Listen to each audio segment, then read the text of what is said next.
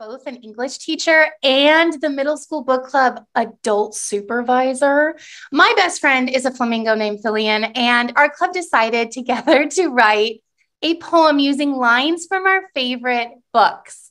Shameless book club plug. If you even think you might like reading, join a book club. The only thing cooler than reading a good book is reading it with amazing people, and FGA is full of amazing people. So join a book club. Here we go. This is our poem. It's called Books Can Change the World. Come on, book club friends.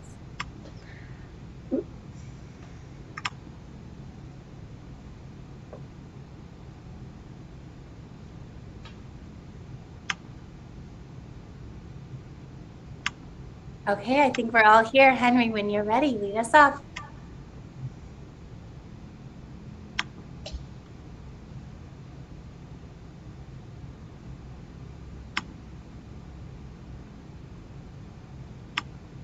To this about to thine own self be true. Books can change the world. Data Amon had promised a great future, but a future is hard to build when there's nothing left. Isn't it nice to think that tomorrow is a new day with no mistakes in it yet? Behind him, across vast distances of space and time, from the place he had left, he thought he heard music too, but perhaps it was only an echo.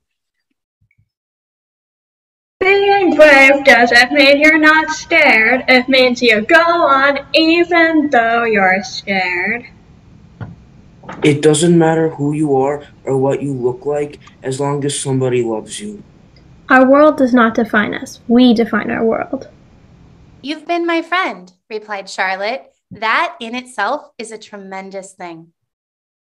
Red for hibiscus flowers, brown for sweet grass, blue for, le- for Lake Victoria, and orange for the sunsets.